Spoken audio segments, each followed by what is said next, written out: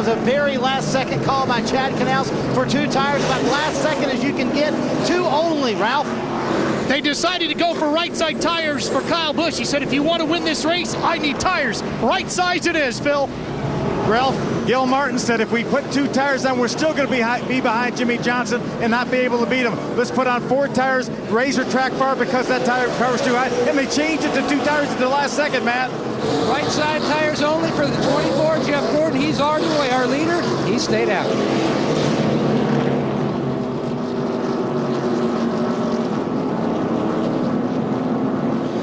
So Jeff Burton stays on the racetrack. Tough situation for them. And Jeff Burton, the race leader, did not pit. All those behind him did. 15 on the lead lap. Here we go at New Hampshire. Gotta imagine that 31 is going to be a sitting duck, Kyle, without taking tires. As Jimmie Johnson just easily passes him yeah. and is going to drive away. And, and that, these other guys got to clear the 31 if they're going to have a shot at the 48. You know, but, but, that's 15 laps to go that Jeff's out there on these tires. And, and, and the bad part is once, he, once you make that call, you're committed to that call for the rest of the race because you're not going to give up track position if there's a caution with eight or 10 laps to go. Jeff Burton and Kyle Busch went around. We get our fourth caution of the day. The restart with nine laps to go.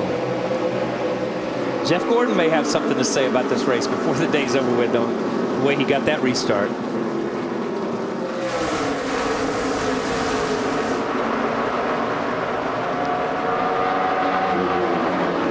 Jimmie Johnson outstanding in practice here yesterday. Whoa, Kurt Busch with contact, goes. the bump and run, new leader. The blue deuce Here's out the in front. Seven to go. And that, I'm talking about.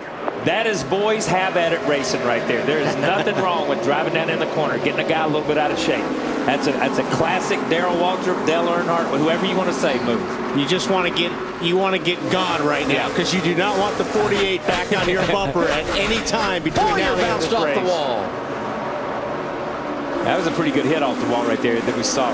But you're exactly right. Once you make that, once you make that, uh, once you make that bump and run, you put the bit in your mouth and you never look in the mirror yeah. again, man. There's no way you want to see that 48 coming back. Here's Busch, three laps to go, and he's trying to hang on, but Johnson reeling him in every lap. And, and it's not. It's coming. Here it is. It's gonna. It's gonna happen.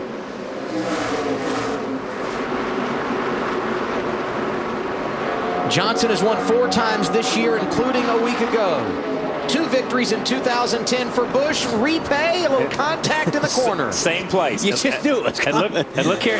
Look at the 14 right here in the mirror. Just hoping these guys pay do it. Two laps to go. They're side by side at the stripe. Into one. Jimmie Johnson the advantage. But I tell you, Kurt's not giving an inch right here. When this is really oh. hard right there because Jimmie couldn't make the pass and slide up in front of him. Now he clears him. New race leader, Jimmie Johnson out front with a lap and a half to go. Those the top three cars. Look at this 14 right here, just digging on the inside.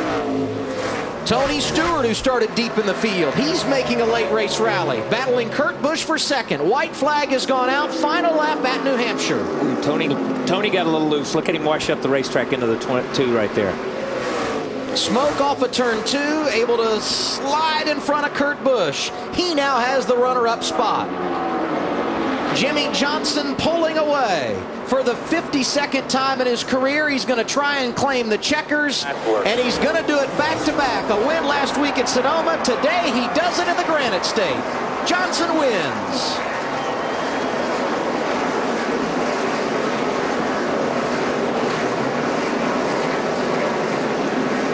This is five laps before we actually got the contact that brought out the caution. Yeah, and they just come off and get together right there, you know, and and, and you know, so obviously, uh, when we see when we finally see the wreck happening, these guys have been racing side by side for four or five laps. If this was five laps prior.